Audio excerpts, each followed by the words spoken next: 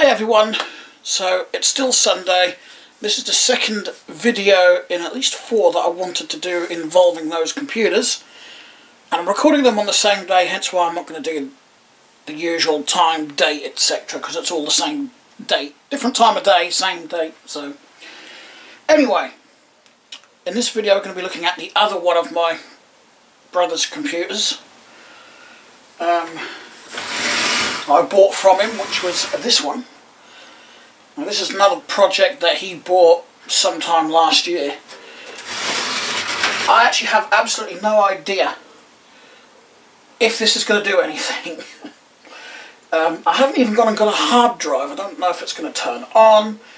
I don't know what operating system I'm going to put on it. Believe it or not, despite having two PCIe video slots, it actually uses DDR400 RAM. Yep, that is four DDR400 RAM slots in there. I've currently got the two 1GB sticks of DDR400 in there. So, I've not even turned this on myself yet, I just literally set it up here, just uploaded a video to YouTube and whatnot and edited that up and put the footage from the last video from the camera on the PC, yeah, blah blah blah. So uh, let's press the button and um, if I spit that again, press the button and see if it does anything. That's a good sign. What's not a good sign is I'm not getting any... Oh, I am. So there's the model number.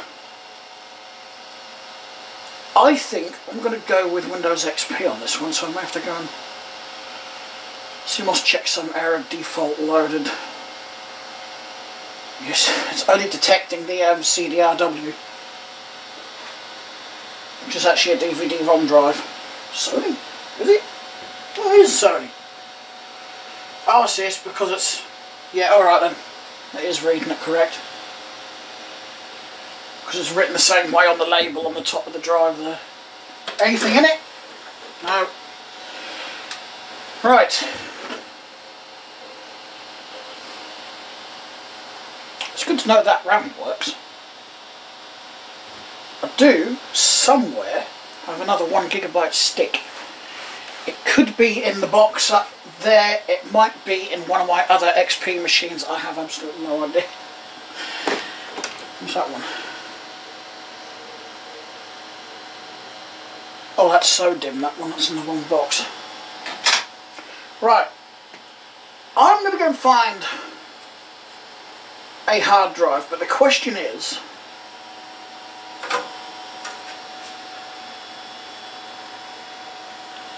how do I plug in a hard drive? um, I don't know if you can see it from there. I can't find a power a spare power connector apart from that one, and that ain't going to reach down there to the hard drive. Uh, well, the camera decided to shut itself off when I had my back turned to it. So I took that pause just to go and get a hard drive. I'll just zoom out again. So I've got an 80 gig Hitachi DeskStar SATA hard drive. That's what I decided to go for. One of the reasons I actually decided to go for one of those is one, it's going to put this hard drive to use because chances of me using that on one of my main machines is slim to none. And two, I can, I've got this adapter, so I can lengthen that, lengthen that, I'm spitting words out, lengthen that I hope. Um, yeah, there's another wind power power supply in this. Oh, the other one didn't have a wind power, was it? It was just this one. Right, so let's shut her off. Get this connected, I hope. Know about anyone else, but I always find that these can be an absolute bitch. you got to get the pins lined up because the pins move around. Right, I'm gonna just see if I can tuck this ribbon cable up here out of the way. Cable management's not actually too bad in this, to be honest. Right, they're going to give me, that is, plenty of room.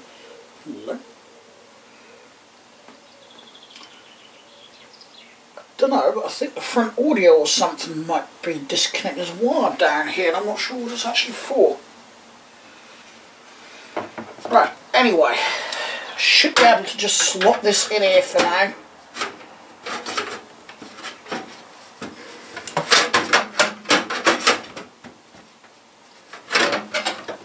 He says. ah. Let's try and get to line up. Right, let's get the power plugged in. I know my big head's getting in the way. Oh, what should I go for? Blue or red? Blue, red, blue, red. Which one's number one? I don't think it really matters. Oh, tiny little fan there. Let's just tuck that in there. Um, let's go with the blue one. I don't know why, but my voice keeps cracking. I don't know if anyone else has noticed that. I'm going to plug it on that one as well. I'm going to do with my CDs. I'm going to need the XP disc out there, aren't I? Just make sure it's going to do something. I don't know what the hell that crack was. At the moment, I've just got a simple um, graphics adapter in there. Just one of these silly little adapter things because it needs something in there because there's no on-board um, yeah, there's no onboard VGA or anything, so I had to put something in. That's pretty much all I've got. Um, but this one would actually make quite a nice XP gaming build as well, to be honest. So that's on SATA number two. I didn't press reset, you stupid thing. That's it. So, is that one number one? Yes, I am getting that antsy with it. Bite me.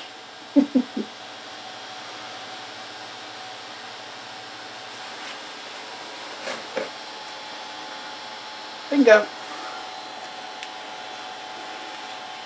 Might, at some point, swap the power supply in here as well for something a wee bit better.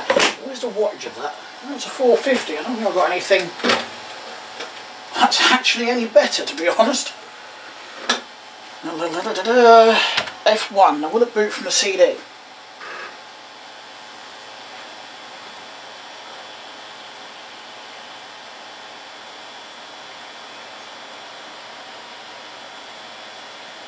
To start Windows normally. Just out curiosity.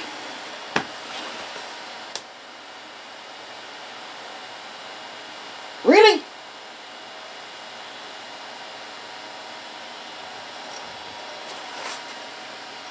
The Android light work. There's no power light on the front though.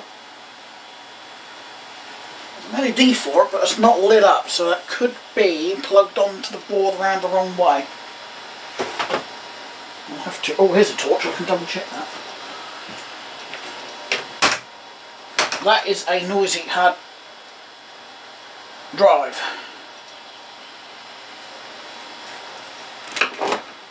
Uh,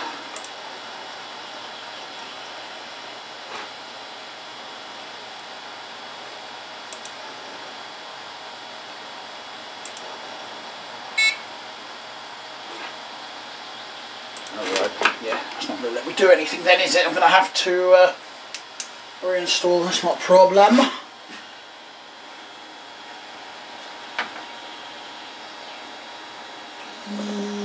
Yes, power LED is actually on round the wrong way. Close, but no cigar. Right.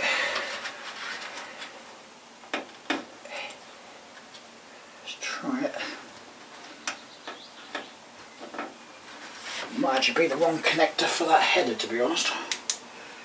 Okay, so I'm going to have to change the boot order, aren't I? Well, hey, we've got power LED now. So, I have to go into setup and change the boot order. It needs to boot from the disk first. Let's move some of these tools out of the way, shall we? And it's not going to, is it? I tried to boot it, it'll go into boot again.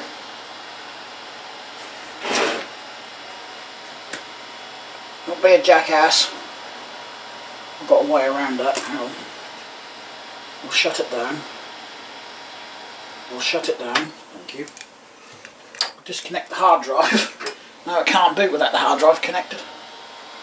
The best thing about that would be in SATA, I can plug it in live. Or hot, or whatever you want to call it. Right, so I need the post screen so I can... Nope, I'm to hit Del. There we go. System time, I suppose I'd better set that, hadn't I? I don't know what the time is. Let's just have a quick look at my clock. 6.52. So...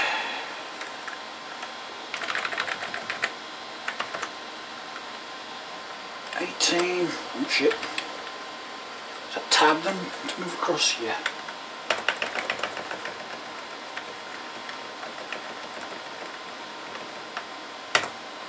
That's 53. I don't think it's December two, um, 2004 either.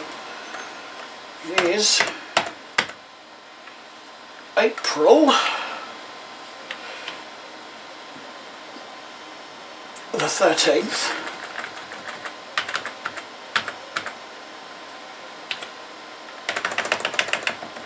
Twenty twenty. Whoops, twenty twenty one. Okay, so assuming this will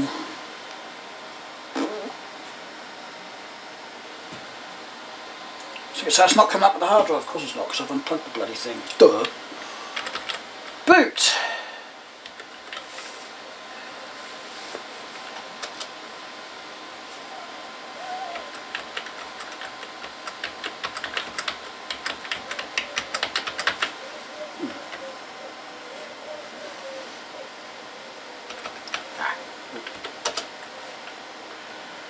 First boot device is removable. We've got CD-ROM hard disk. Removable. I'll put that just for the sheer hell of it. Right. Escape. F10. Some guess, isn't it? Yep, there you go.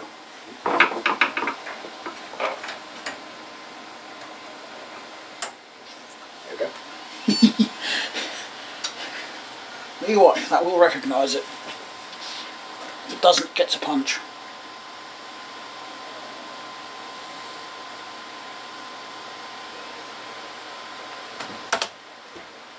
From the CD, there we go.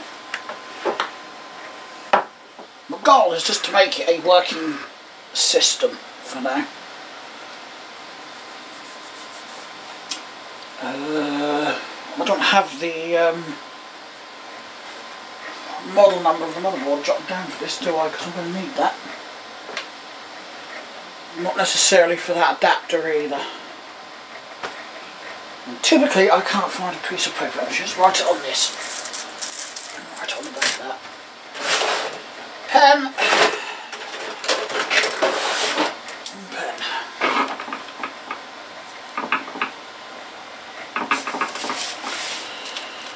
A eight N dash S L I. I better put the SE on there just in case. Right, there we go. It's ready for later on. Pen back in the drawer. Job's good. That's an Asus adapter, that one. Little Asus adapters. All pretty much the same bloody thing.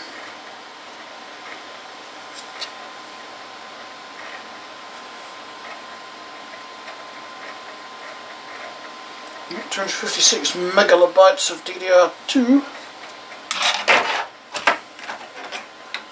I'm not going to bore you with this. I'll get it all set up and going and then I'll oh, I need something in there so I can't use that one it's upside down there's another PNY Technologies GeForce 7200 DDR 220 megs of RAM oh hello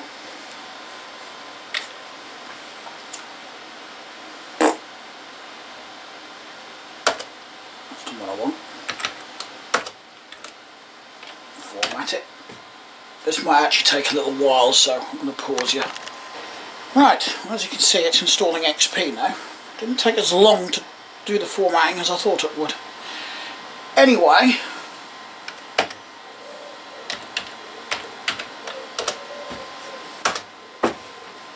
I have actually found out that this is a server motherboard. So it's not a standard motherboard. This is actually installing XP pretty quick. It's the quickest I've ever gotten to this point. So,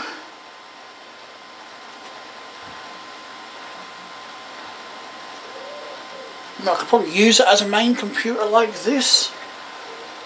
But now I know that, and I know that everything is working. That's why I'm actually continuing with Windows XP. I'm going to see if I can find um, a copy of like WinServer or something to put on here. Uh, I know that looking through the operating system choices on the website you do get WinServer 2000 so I'll see if I can find a copy of that. Might actually have a copy somewhere. But uh, if I upgraded the power supply, I could put like three other hard drives in, in there and actually explains what's called this upgradability as well. I have to say that uh, hard drive does not sound healthy, not for a SATA hard drive. Yeah, definitely need a power supply with more connectors on. and more SATA connectors on so I don't have to use adapters. We'll see. We'll see where I go with this one. But for now we'll uh, just see if we can get it running. I've got some drivers, there's actually not a lot for Windows XP. I think I found the audio driver and some chipset drivers and whatnot.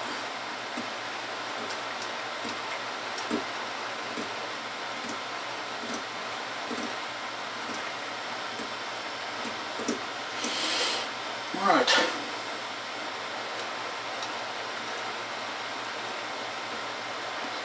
if this was actually used as a server. I don't know. It's going to have to have a fan put there and there. It hasn't got one. And I'm going to have to... Uh, if I did put this into use as a server, I'm going to have to check that processor fan. Um, thermal paste on it, that is. What processor this has got.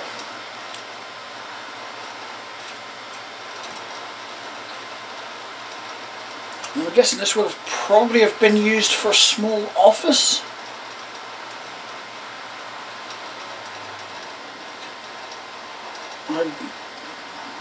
Actually make me curious now as to what it was used for. But for a server, I certainly wouldn't have put that power supply in there. I would guess it's probably a small home or office network server maybe.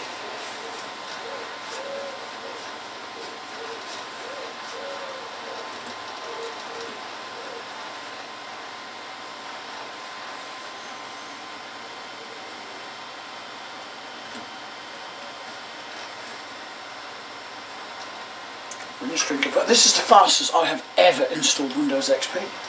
It's nearly done.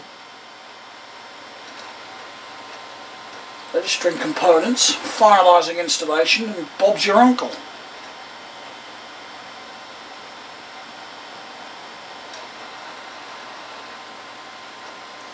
Seriously, it used to take me on average probably about 45 minutes to install XP to a computer.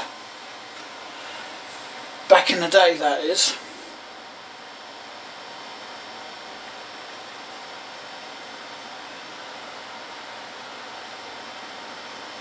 No, I don't need to boot from In fact, I can take the CD out, I think.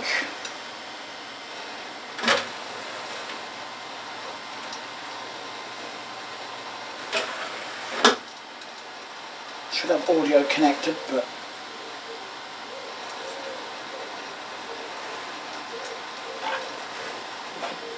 pretty certain I don't have a Server 2000 disk key. Plenty of Windows 10, Windows 7, Windows ME, just because. There's my disk that actually boots Windows from that disk. Not as it's not an install disk, it is actually a boot disk. That came with one of my machines that I picked up. Windows 7 Home Premium Disk, a 2000 boot, another Windows Millennium boot. Now we got a Windows Vista disk there, didn't know I had. Some more Windows 7. Got the Windows 95 and a Windows 98. And I've got another couple of Windows 98 somewhere.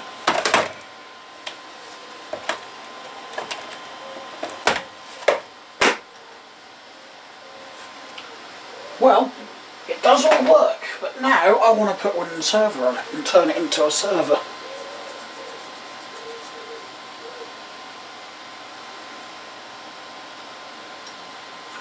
First, I want to know the specs.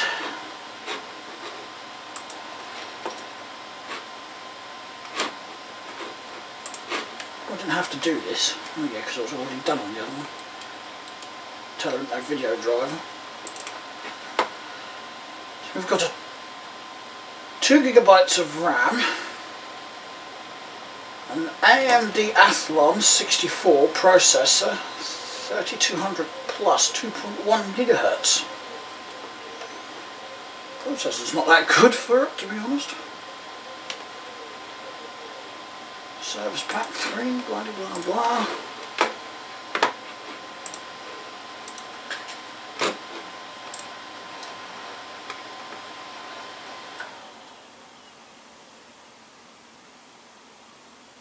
That shut down really quick.